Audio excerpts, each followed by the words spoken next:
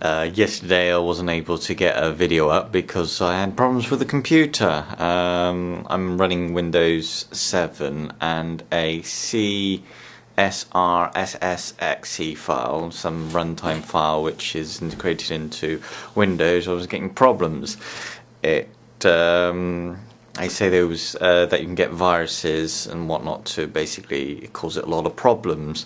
Um, I did a couple of virus checks using malware Malwarebytes and Dr. CureIt, and both of them flagged up nothing. So I was kind of in the dark what to do. Um, and I had a feeling it could be something to do with the graphics uh, because every time every time I kind of moved this thing here, I used to get like um, um, it flickering, and here that file there would go up to about 14%. Now, considering I've got a quad core processor, I would have thought it would do absolutely um, nothing. And when it went up to 14%, I was thinking, oh, something's up. I mean, flashing down here isn't going to do that much. Um, but I finally solved it. Um, I've got a pretty uh, good graphics card in there. It's like a Radeon 4870. Um, and I've not really got the um, ATI uh, drivers because I'm not gaming on it, and I'm a little bit funny about whether it's going to be a decent graphics card, um, decent driver. Uh, so I went back onto Windows Update, um, installed a new graphics card driver, and it seemed to solve the problem. So I was going to get a Wednesday video on my main channel, but because of that, um, I wasn't able to.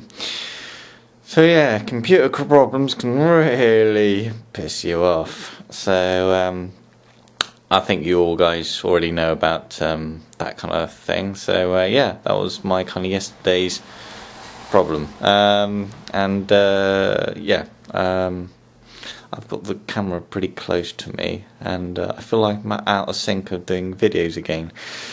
Uh, but yeah, hope you're all well. Um, yeah, let me know about uh, computer problems that you have and stuff, and if you're able to solve them and whatnot, and what you do, and what possibly what you use. I've been thinking of doing a video on um, um, on what would uh, what people use as in like the best antivirus um, uh, cleaner uh, tweaks because I do quite a few tweaks on my um, on my computer and I've gone around and done done a lot of computer supports um, so uh, uh, but the past couple of months yeah I've kind of got out of it and when it comes to computers when you when you're not doing um, regular computer stuff, you you kind of tend to use older programs, but the older programs seem to kind of go a bit out of date and whatnot. So uh, yeah, so I use uh, at the moment I'm using CCleaner, I use Malwarebytes, um, I use uh, uh, Ost, Summit Logic, Defrag. Um, a very good uh, website I go to is FileHippo com. Usually get my uh, lot of stuff there. Um, yeah, I think that's about it. Probably gone on a bit too long. Uh, let me know if you got to the end of the video. Oh, or let me know if it is too long, because I was going to do a really short one this time, but yeah, it's just nice just to talk in front of the camera. talk to you guys. Hey, take care. Bye bye.